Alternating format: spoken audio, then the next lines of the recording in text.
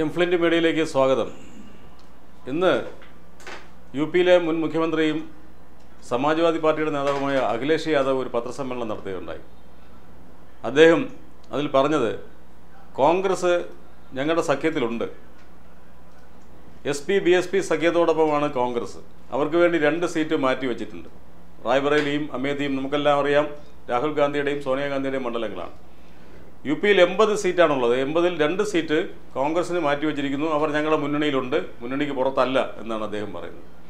അദ്ദേഹം ഇപ്പോൾ ഇങ്ങനെ പറയാൻ ഒരു അടിസ്ഥാനമുണ്ട്. കാരണം കഴിഞ്ഞ രണ്ട് മൂന്ന് ദിവസമായി നമ്മൾ കാണുന്നത് ദേശീയ രാഷ്ട്രീയത്തിൽ പ്രത്യേകിച്ച് യു പി രാഷ്ട്രീയത്തിൽ പ്രിയങ്കാ ഗാന്ധിയുടെ വരവ് ഉണ്ടാക്കിയിരിക്കുന്ന ചലനങ്ങൾ. കഴിഞ്ഞ ദിവസം നാം കണ്ടതാണ് പ്രിയങ്കയുടെ റോഡ് ഷോ രാഹുൽ ഗാന്ധിയുമൊത്തുള്ള റോഡ് ഷോ. അതുണ്ടാക്കിയ പ്രതികരണം.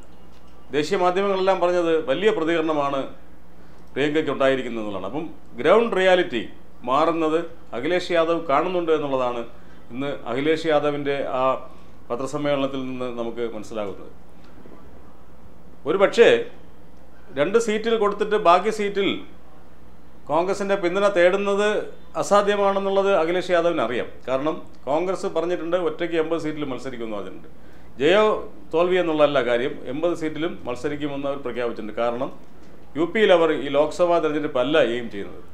രാഹുൽ ഗാന്ധിയെ തുറന്നു പറഞ്ഞിട്ടുണ്ട് യു പിയിൽ രണ്ടായിരത്തി ഇരുപത്തിരണ്ടിൽ നടക്കുന്ന നിയമസഭാ തെരഞ്ഞെടുപ്പാണ് ഞങ്ങളുടെ മുഖ്യമായ ലക്ഷ്യം.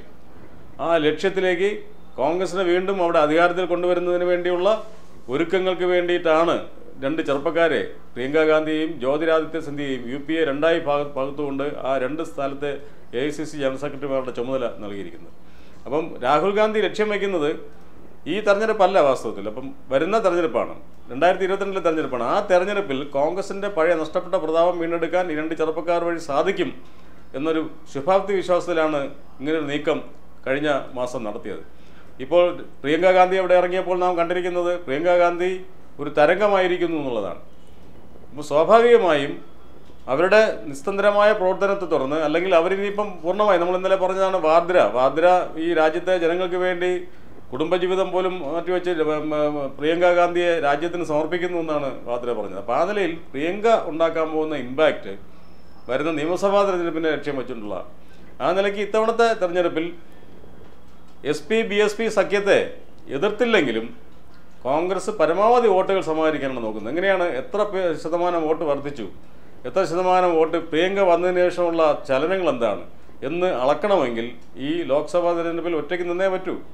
ഓരോ മണ്ഡലങ്ങളിലും കോൺഗ്രസിന് കിട്ടുന്ന വോട്ട് അളന്ന് തൂക്കി വേണം അടുത്ത നിയമസഭാ തെരഞ്ഞെടുപ്പിൽ എങ്ങനെയാണ് പ്രോസ്പെക്ട്സ് നിർണയിക്കാൻ. ആ നിലയ്ക്ക് നോക്കുമ്പോൾ ഈ ഈ അഖിലേഷ് യാദവിന്റെ ഒരു മാറ്റം കോൺഗ്രസിന് കോൺഗ്രസ് മുന്നണിക്കകത്ത് തന്നെ ഉണ്ട്. കോൺഗ്രസ് മുന്നണിയിൽ തന്നെ ഉണ്ട് എന്നുള്ളതാണ്. അപ്പോൾ അങ്ങനെ പറയേണ്ടി വന്നൊരു സാഹചര്യം എന്ന് പറയുന്നത് ചിത്രം മാറുന്നു എന്ന് കണ്ടുകൊണ്ടാണ്. കോൺഗ്രസിന്റെ മറ്റൊരു ഇതെന്ന് പറയുന്നത് നിയമസഭ ലോക്സഭാ തെരഞ്ഞെടുപ്പ് കഴിയട്ടെ S P B S P സഖ്യം പല സ്ഥലത്തും കൂടുതൽ വോട്ട് നേടും എന്നുള്ളത് നമ്മൾ തെളിഞ്ഞു കഴിഞ്ഞാണ്. കാരണം കഴിഞ്ഞ ലോക്സഭാ ഉപതെരഞ്ഞെടുപ്പിൽ തന്നെ വാരണാസി തെരഞ്ഞെടുപ്പിൽ യോഗി ആദിത്യനാഥിന്റെ രാജിവെച്ച മണ്ഡലത്തിൽ പോലും S P B S P സഖ്യം വിജയിച്ചു എന്ന് കാണുന്നത് ഈ രണ്ട് രണ്ടുപേർ രണ്ട് പേർ ചേർന്ന് കഴിഞ്ഞാൽ ബി ജെ പിയെ തോൽപ്പിക്കാൻ പറ്റുമെന്നുള്ളതാണ്. അപ്പോൾ ബി ജെ പി വിരുദ്ധ വോട്ടുകൾ ഈ രണ്ട് മുന്നണികളിലും കോൺഗ്രസ് കാരണം ഭിന്നിച്ചു പോയാലും എസ് പിയും ബി എസ് പിയും കൂടി ചേർന്നാൽ അവിടെ സീറ്റുകൾ കൂടുതൽ നേടാൻ കഴിയുമെന്നൊരു ഉറപ്പ് കോൺഗ്രസിന് തന്നെ ഉണ്ട്. അപ്പോൾ അങ്ങനെ വരികയാണെങ്കിൽ കോൺഗ്രസ് ഒറ്റ വലിയ കക്ഷിയായി ദേശീയ തലത്തിൽ വരികയാണെങ്കിൽ S P B S P സഖ്യത്തിന്റെ പിന്തുണ അവർക്ക് ആവശ്യമാണ്.